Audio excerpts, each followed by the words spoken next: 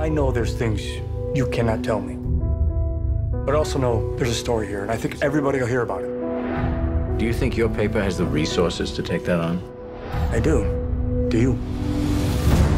The Boston priests molested kids in six different parishes over the last 30 years. The church found out about it and did nothing. We haven't committed any long-term investigative resources to the case. No, we haven't. And that's the kind of thing your team would do. Spotlight? Guys, listen. Everybody's going to be interested in this. Obviously, the church will fight us very hard. trying to get some background information. I don't want you recording this in any way, shape, or form. Nothing.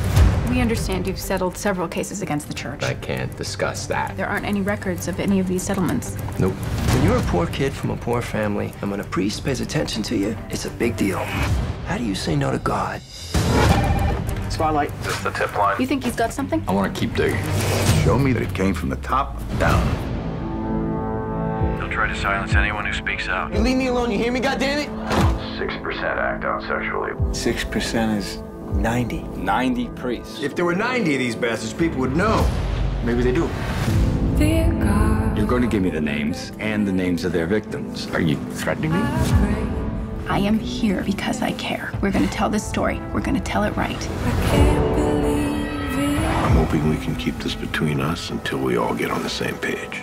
Is that why we're here, to get on the same page? We've got two stories here. A story about degenerate clergy, and a story about a bunch of lawyers turning child abuse into a cottage industry. Which story do you want us to write? Because we're writing one of them.